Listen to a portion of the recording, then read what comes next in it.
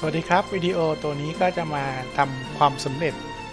การในการบินนะครับ มีด้วยกัน 2 ตัวด้วยกันนะ ตัวแรกคือใบอนุญาตล่อนทองคำครับ คือการใช้เครื่องล่อนไปยังที่ไกลแสนไกลนะตัวที่ 2 คือความสามารถในการติดปีกบินนะครับ อันนี้คือให้คุณใช้เครื่องล่อนเวหาต่อเนื่อง 80 วินาทีนะครับซึ่งถ้าหากคุณทำตามนี้คุณจะผ่านทั้ง2เรื่องนี้อย่างแน่นอนนะ โอเค การทำภารกิจนี้ต้องมีอะไรบ้างครับ อย่างแรกครับคุณต้องมีตัวละครเอมเบอร์ในปาร์ตี้นะอันนี้ไม่ต้องมีก็ได้นะฮะเอาใครมาใส่ก็ได้นะครับ ไม่ไม่มีผลนะครับ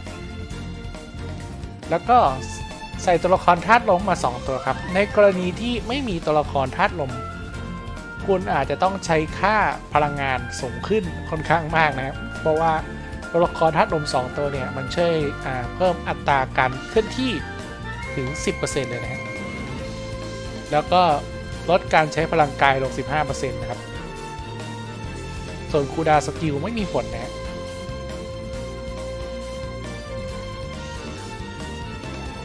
โอเคสำหรับคนที่จะกระโดดไปอ่าเขาเรียกอะไรล่อนไปถึงเกาะแห่งนี้ได้นะฮะควรจะมีค่าพลังงานอยู่ที่ร้อย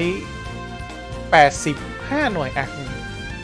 บางคนว่า 180 นะ แต่ผมลองกดดูมันมันเกือบเกือบถึงนะ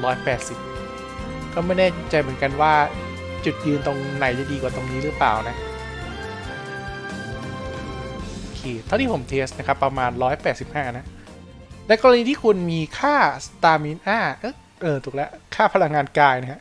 ไม่ถึง 185 ครับ คุณสามารถหาอาหารนะครับ มาทานเพิ่มเติมได้ ก็มีด้วยกัน2ชนิดนะครับชนิดแรกคือ a n e m o a s t o n นะครับอาหารชนิดนี้นะครับคุณสามารถหาสูตรได้จาก NPC นะฮะ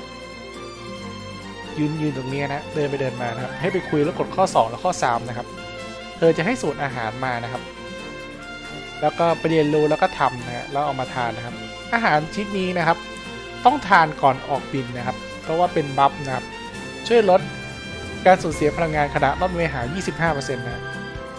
แล้วก็อาหารอีกตัวหนึ่งครับคืออาหารฟื้นฟูพลังกายอีก50 หน่วยนะครับ ใครไม่รู้วิธีหาสูตรอาหารก็เดี๋ยวจะแปะลิงก์ไว้ให้ในวิดีโอนะครับ ส่วนใครดูผ่านบทความของ m u s t p a y ก็มีลิงก์บนบทความแล้วนะ ลองไปเช็คได้นะครับ อันนี้กินระหว่างบินนะฮะ โอเค เรามาล่อนเริ่มล่อนเวหากันเลยกันครับ ในการบินนะครับให้คุณมองไปยังเกาะนะฮะเกาะจะอยู่ประมาณแถวๆนี้นะประมาณนี้ขีดจาก Star n o s Sheep นะครับ ให้คุณกระโดดแล้วกดกลางปีกนะครับล่อนไปยังเกาะโดยตรงเลยนะ ไม่ต้องแวะนะครับ เดี๋ยวใครบอกวิ่งแวะชมนกชมไม่ ขออภัยนะกืนน้ำลายไม่ลงโอเค มาเริ่มโดดกันเลยแล้วกันครับ ชุบซูพอมงวางอันไกลโพรนแล้วก็หันไปทาง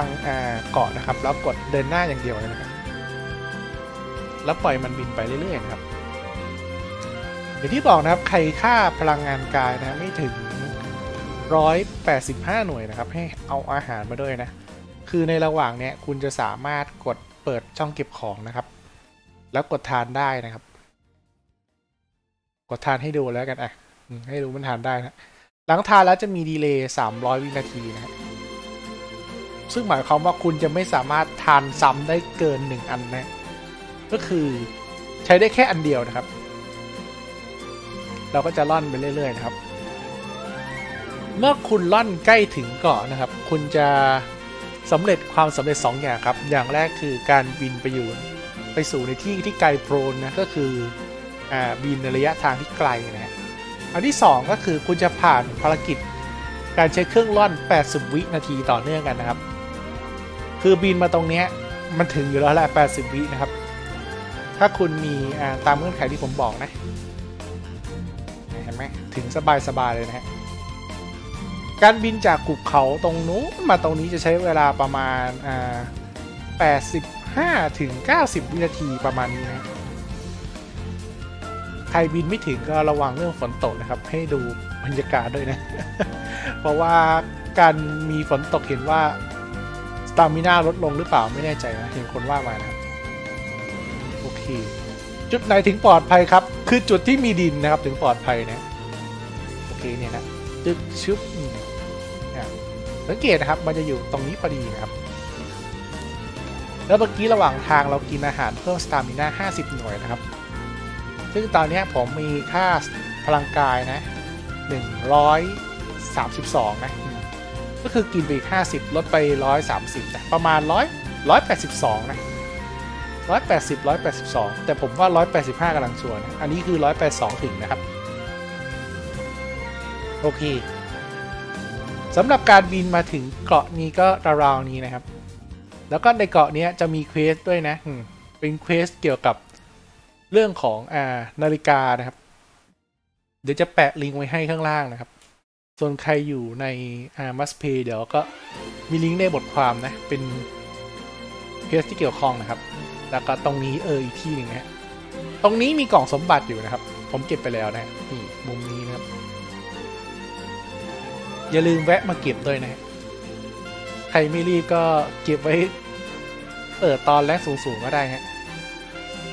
โอเค แล้วเจอกันใหม่คลิปหน้าครับ สวัสดีครับ